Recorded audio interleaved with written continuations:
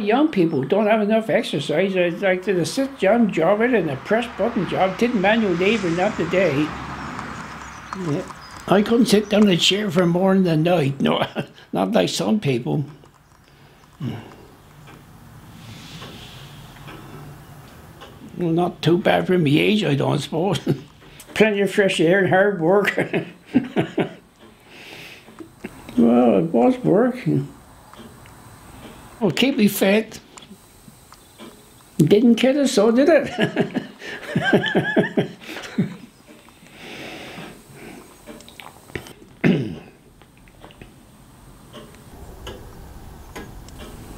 well, left school at 40, then you know, worked on the farm uh, all your full time, but I suppose doing a bit before that probably. Neighbours used to come in here evenings. He were lorry driver's mate, he was, and then there a evacuee boy from London living next door helping they on the farm. He used to come in, we were out there starting making 12 o'clock at night. two titty, two titty lamps hung up on the ceiling.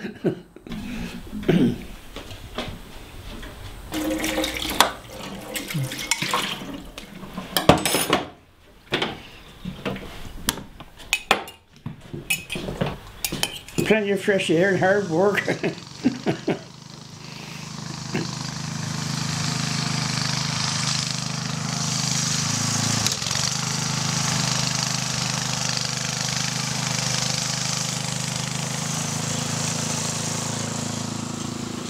apple pickeries broke. Got a mating. Well, we made them do, but uh, a couple of things just, you know, the pins just broke off. Uh. Not not going round. But he, he's doing it all right. Well, making it manage anyway. you always read one generation and plan for the next. That's what he used to say.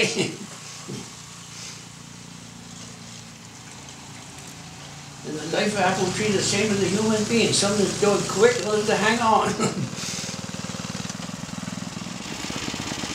Years ago when had grown mango, used to go southern making the morning and mango, pulling it, pulling the mango in the afternoon. And I go apple pick my white frost stuck to the grass. oh, that was cold. I remember one year, years ago, the early season not many apples. We finished apple picking the middle of November. And they had the heads before Christmas.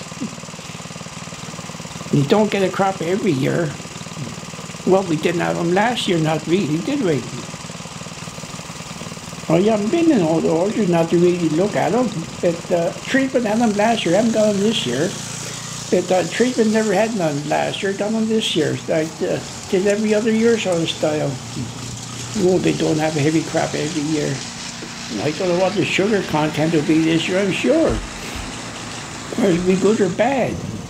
They depend on the water, like the weather, how much rain we get to get into them. I expect at the moment, I expect the ground's so dry, I expect it's good, you know, good. About seven or eight thousand gallons we used to make ourselves in the yard. But then when we had our barrel filled, one we made them up for a Fred built up the Anglo Apple Mill, the chef in Maddox, and filled up his and nine gallon vat. And I think that year we made about 29,000. Oh, 1,500 now. 1,500 gallons years ago when we didn't have no apples, well, not enough for our own apples, we used to get about 100 ton from Kent. But uh, that cider wasn't much good, really. If we had it now, we shouldn't sell it. But you can sell anything then. Well, how many taters you got first? You might have too many taters. You won't be able to put them in them. If we didn't get them from Kent, we have them from uh, Normandy or in France, but that was good cider. In Brittany, but that Normandy were better than Brittany. Um, oh, you reckon we got enough there and we fry? They come across on a boat. Then they take them out the boat and, um, oh, in bags yeah, bought four bags. Then they'd the bags out, put on lorries and bring them up.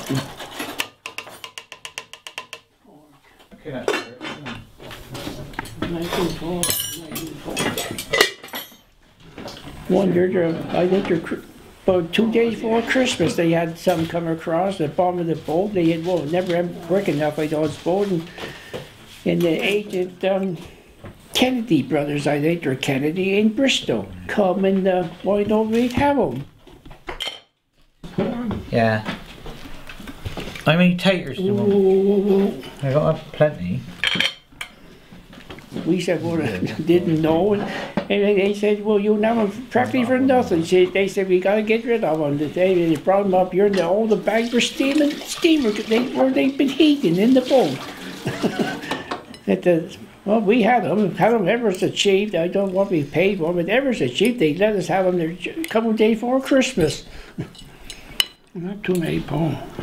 You, you haven't got yours half, have Oh you? yeah? I got more than half. I don't know. That'd be thin that way.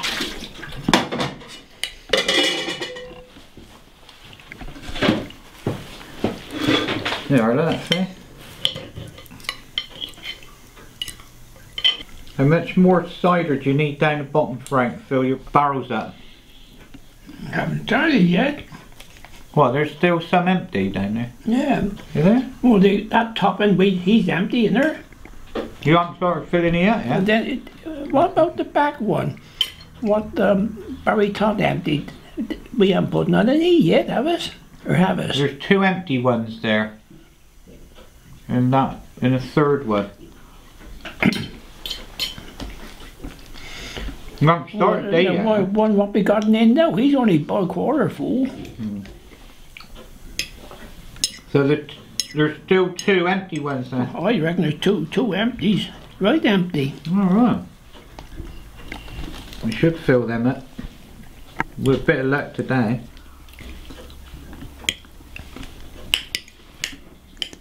I thought there were, um, they must have been more empty than what I thought.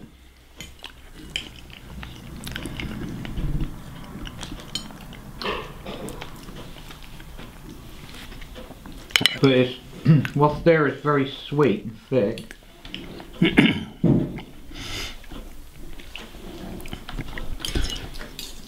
So then I must have some back in the holding tank.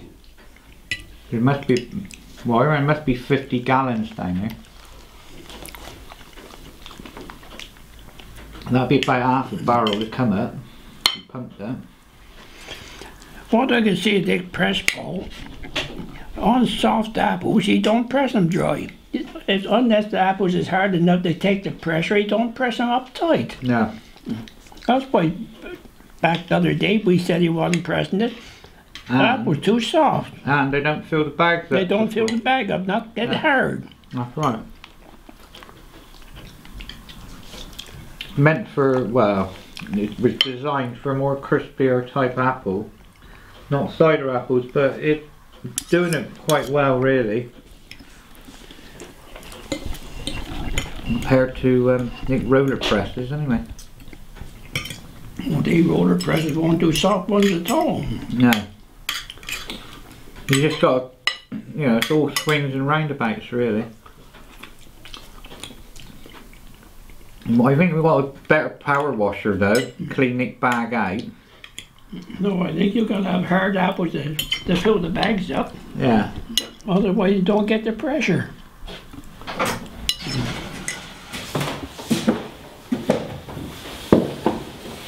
Now, those apple bags might come from Kent, that were like what they put um, corn in over there, about two, two and a half hundred weight a piece, each bag. they wouldn't be, wouldn't be allowed to lift, lift them now. we got some of the bags out there now, up in the loft, tied up. Had one bag once with German, a swastika on it.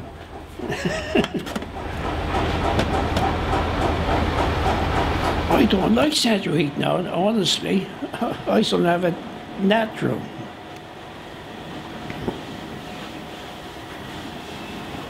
No, I reckon just stuffy. Mightn't turn it on.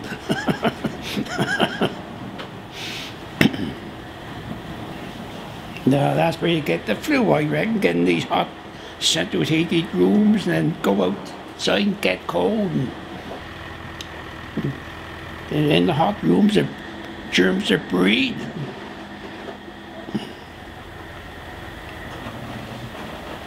I've never been used to it. I, I like going to the bedroom and smell the, smell, smell the coldness. Yeah. No, I, uh, I wouldn't, I don't like going to the bedroom all hot. When the cold, protector clothes on.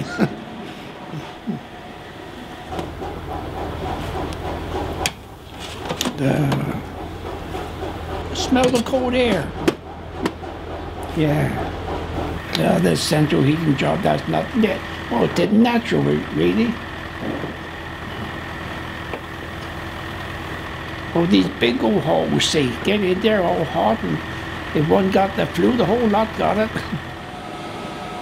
And that's where the germs are breeding, the heat in it. I've never had this flu jab. Dad's cousin years ago, he had one. He never had it so bad in all his life. After a cold job though, winter cold freezing, after a cold job on for your fingers.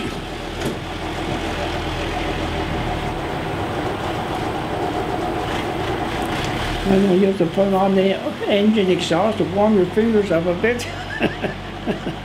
En- engine, what was growing apples.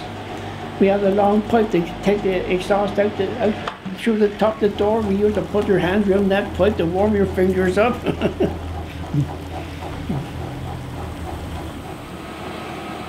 One winter, we had a pipe across the yard for putting it down in the bottom house this side, uh, where the new press is now.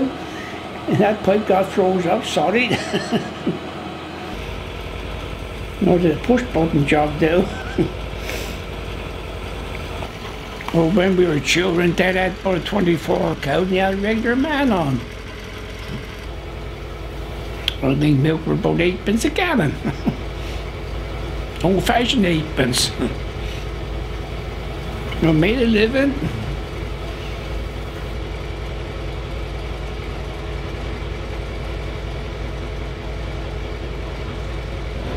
Started off with more than one pumping very fast. He's pumping faster. No, I get worse morning.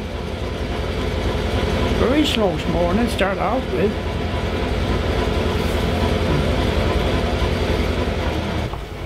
Oh, when we kept cows years ago and had, you know, food about the yard and that, well, see, we had, well, the, full of rats. But uh, when we start cider making, get some apple plum, sure to probably get a few come back. Because our neighbour down there, he, oh, he spend one or two hundred pound a year in poison. By then big bucketfuls.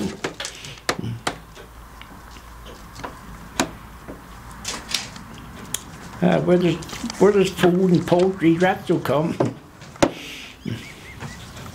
I'm not afraid of rats. No, they don't hurt you unless you got them up in a corner. Then they might fly out or do anything. But no, I'm not afraid of them.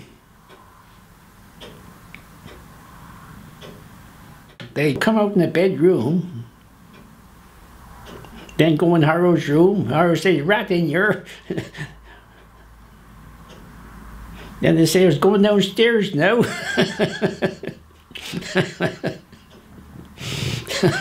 Where we end up to, I don't know. they don't hurt you. You don't upset them. They're all right. you used to come under this door there.